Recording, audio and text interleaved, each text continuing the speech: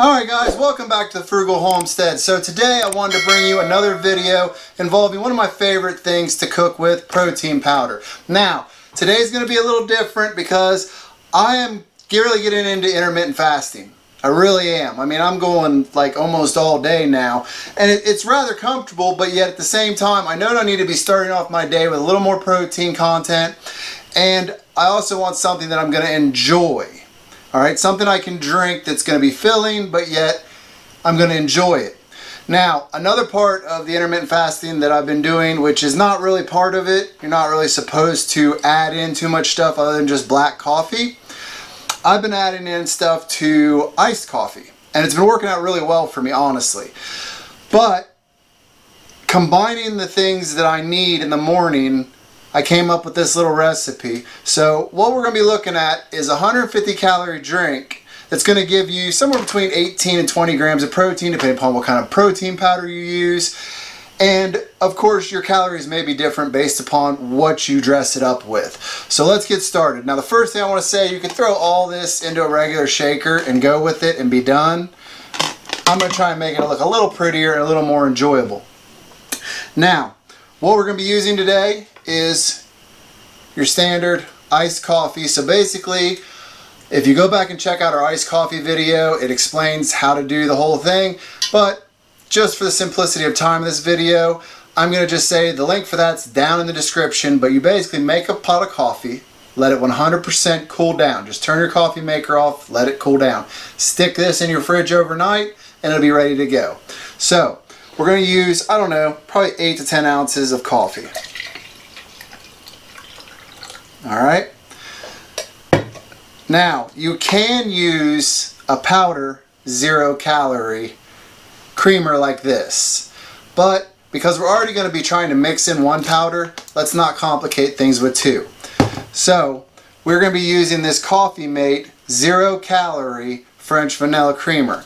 Now this stuff is 15 calories per two tablespoons. We're going to be using a quarter cup.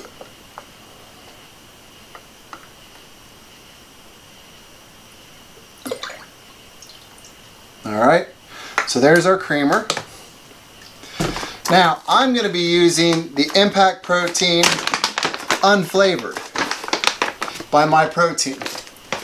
Now, if you guys haven't heard of My Protein, they do bulk supplements and bulk like protein bars and different things.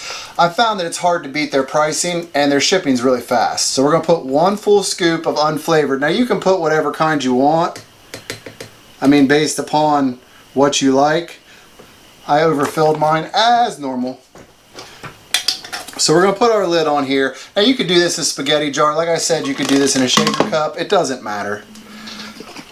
So all we're going to do is shake it, just like you would do in a normal shaker, to get that protein powder mixed in. Generally, you want to leave a little bit of head space and make it so that it's, you know, swishes around inside there better. But the important part here is this will give me the protein I need for muscle recovery going throughout the day. Because even though I'm doing intermittent fasting, I'm still basically doing something physical all day long. And it's tearing down my body, and I need to be getting this protein in every morning regardless. So this is just kind of a way to slip it in, kind of like my body doesn't notice it as much, and it doesn't really mess up my intermittent fasting. And with the calories, you can clearly see that it's not bad at all. So,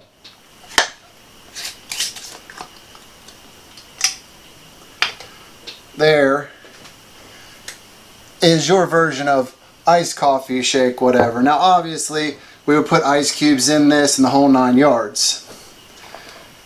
But, we're going to get fancy. Two tablespoons of whipped cream. And that, my friends, is 150 calories done and done.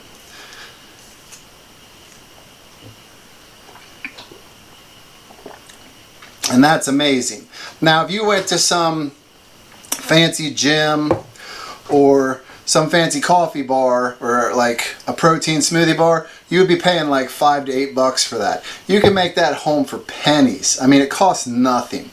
So, just a thought, something for you coffee drinkers like me, if you're a coffee addict like me. Now I do know they sell protein powders, they're coffee flavored, but I've yet to find one I really, really enjoy. So this just gives me the best of both worlds. I get my protein in, and I also get to have my iced coffee and I get to enjoy.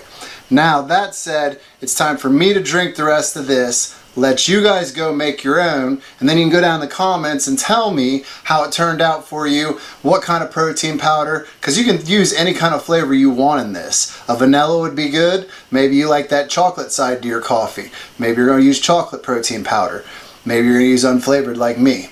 But make sure you go down smash that subscribe button then you got to go down hit the like bell and button and the notification bell so you see all of our upcoming videos because there's more to come and many, many, many more yummy ideas I've got that I'm working on right now. So with that said, I'll see you guys in the next